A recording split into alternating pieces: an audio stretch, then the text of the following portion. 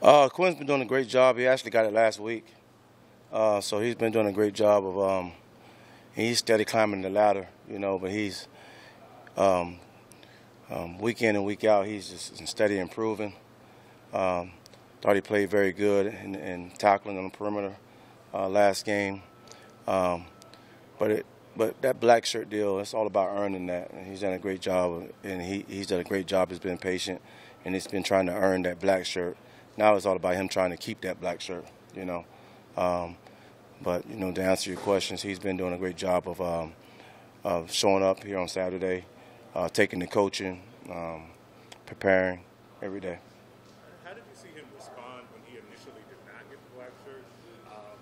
Because that, can be difficult when you see the rest of your teammates that are starting to get it. I'm pretty sure he took it hard, but I'm pretty sure he, you know it wasn't a taking a hard uh, deal, uh, as if he you know felt entitled and he, I was supposed to get that.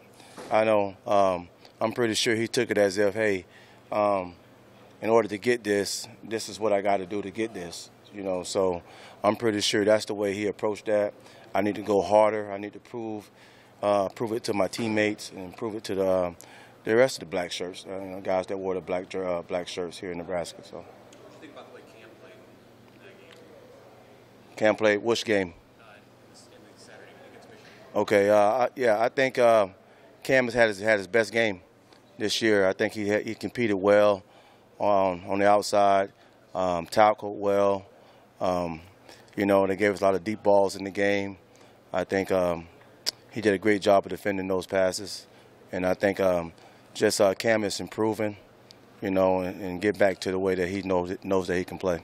What, have you seen with his um, progression, or just kind of the, path that he's been on this year? I mean, he, I think, after the Northwestern game, that he was he was maybe pressing, and saw it obviously maybe carrying over from special teams to defense, and now you know, like you said, played his best game against good good receivers. Um, Yeah. but, uh, what, what's happening with him, you know, week to week?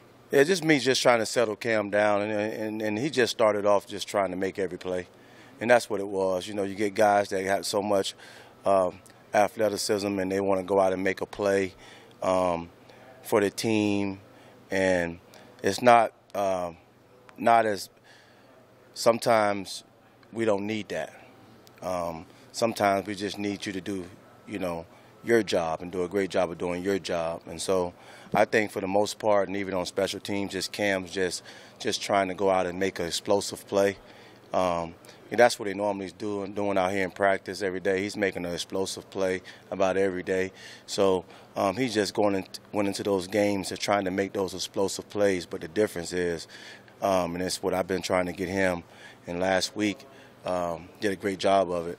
And um, just reminding him, hey, when it's your time to make a play, um, be in position by doing your job, and then go make that explosive play that you know you can make. Um, so um, just being in the right position is what we're trying to accomplish uh, for Cam, and then he can just go use that God-given ability that he got. How do you, how do you know when it's your time to make a play like that? Uh, your job. Uh, your job. So if we're playing thirds coverage and your job is to be the deepest of the deepest in your third, you know you want to be the deepest of the deepest in your third, and if that quarterback throws the ball still, then you make him pay for it.